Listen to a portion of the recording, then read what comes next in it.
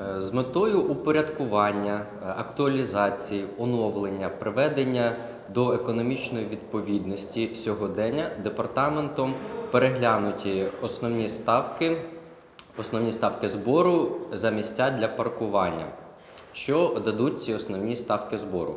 По-перше, я хочу зазначити, що ці ставки почнуть працювати з 1 січня 2023 року та е, дадуть змогу залучити більше надходжень до місцевого бюджету.